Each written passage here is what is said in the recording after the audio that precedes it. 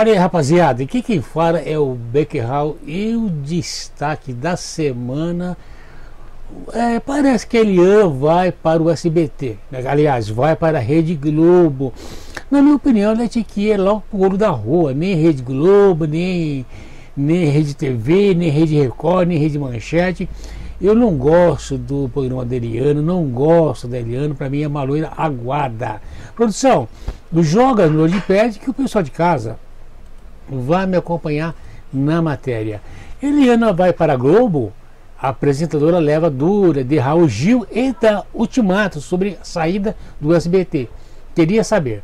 Nos últimos tempos, um boato fortíssimo sobre uma possível ida de Eliana para a TV Globo veio tomando conta da internet e sites de fofoca em geral, especialmente após a última aparição da apresentadora no Criança Esperança cada vez mais aparecendo ao lado de Angélica e Xuxa.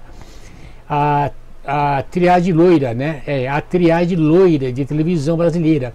Eliane, que recentemente deu um conselho valioso, Ana Hickman, voltou a ser questionada sobre o assunto no programa Raul Gil, exibido nesse sábado, dia 23.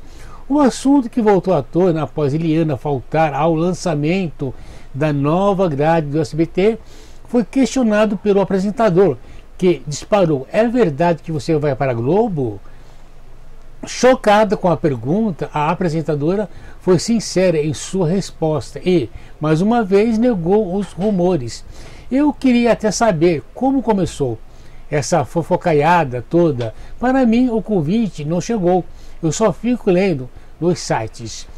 Com a resposta da loira, Raul Gil disparou os sites e perfis de fofoca inventam muita mentira. E Eliana prontamente concordou, já cheia de tais é, especulações.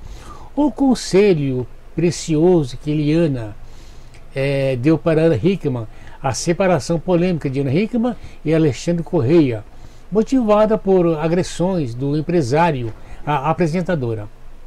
Mexeu bastante com o mundo dos famosos des, é, desencadeando em novas denúncias e apoio mútuo para a estrela da TV Record.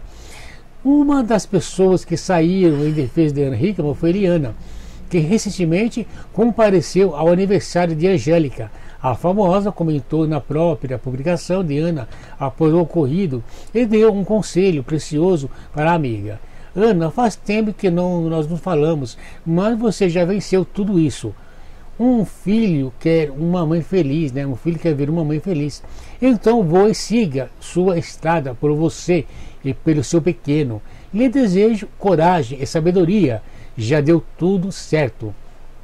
Você sairá mais forte do que imagina. Receba meu carinho neste momento. Gente, é o seguinte, ó, é, então tá esses rumores aí que a Eliana talvez vai para a Rede Globo. Para mim, não tinha que ir para canto nenhum. Para mim, ela deveria se aposentar, já está ficando velha. Eu não suporto. Ó, um programa que me dá nojo, só de ver a Liana na televisão já dá vontade de vomitar. Não gosto, não gosto. Gente, eu sou sincero, não gosto do programa da Eliana. Para mim, hoje em dia, só tem lixo na TV brasileira. Só tem lixo. Luciano Huck é lixo. Caldeirão do, do aquele Mion é, é um programa, é um tremendo de um lixo. Raul Gil era um programa legal. Hoje em dia eu, não tô, eu gosto do Raul Gil, mas não gosto do estilo de programa que hoje em dia ele apresenta. Porque antigamente tinha os calouros, tinha, o banquinho ainda tem, né? Mas tinha os calouros, era mais. Hoje em dia o Raul Gil só apresenta essas molecadas, é, fica explorando essas molecadas. Para mim, os melhores apresentadores da TV brasileira é o falecido Gugu. Silvio Santos, que já está velho, já está se aposentando.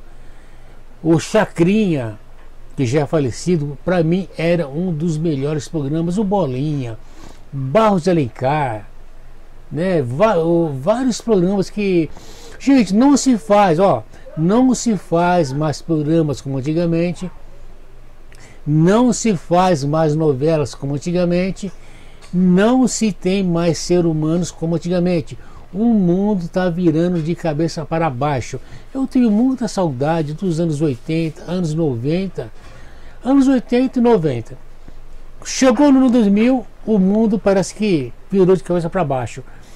Nós que tem mais de 50 anos, mais de 40, 50, 60, 70 anos, nós tivemos o, o privilégio, nós somos privilegiados de ter vivido no, na década de 70, 80 e 90.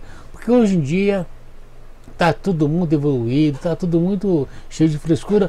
A única coisa boa que a internet trouxe, na minha opinião, é que hoje em dia tudo é mais é, é tudo tudo tá, tudo tá, tá, tá, mais fácil. Você não precisa mais sair de casa para pagar uma conta. Eu mesmo, antigamente eu ia pagar uma conta, eu ficava horas na, na fila da, da, da lotérica ou na fila do banco para pagar uma conta. Hoje em dia eu pago minha conta em casa, pago pelo celular, nem saio mais de casa para pagar conta. Então a única coisa que a, que a internet trouxe de bom é isso daí. E outras coisas também. Hoje em dia você marca consulta pela internet, você faz agendamento, você vê exames, você transfere dinheiro, tudo em casa, é uma maravilha. Então, nesse ponto, valeu a pena. Mas do resto, gente, eu acho que o mundo deveria se evoluir. Mas eu acho que o, a, os, as pessoas que produzem, que produzem televisão, que produzem aparelho de som, que, que ah, os, os empresários, se, é, vamos dizer assim, né? Eu acho que não deveria ter saído de, é, de mão de mão de, de fabricação o videocassete, a vitrola, o disco. Hoje em dia tudo é internet. Hoje em dia não, hoje em dia não, não se tem mais CD, não se tem mais DVD. Nossa, antigamente você assistir um filme, você ia numa locadora, alugava, assistia o filme com a família em casa. Hoje em dia não se tem família. Hoje em dia, o pai e a mãe, o filho está na sala com o celular na mão, a mãe está na cozinha com o celular na mão, deixando o feijão queimar, o pai está no quarto, a gente está no banheiro, né? É brincadeira, um dia a internet desuniu a família. Mas por outros lados também tem as suas vantagens. Né? Mas eu estou aqui para falar de, de né, da Eliana. Então eu não, eu, não, eu não gosto da Eliana, eu acho o programa dela chulo um programa sem graça. Não sei, nem sei se nem sei como um programa desse pode ter audiência. Bom, essa é a minha opinião. E você, o que acha? Deixe o seu comentário e não se esqueça de se inscrever no canal. Ative o sininho para receber nossas notificações. Por enquanto é só. Muito obrigado a todos. Um abraço do Becker Hall e até mais.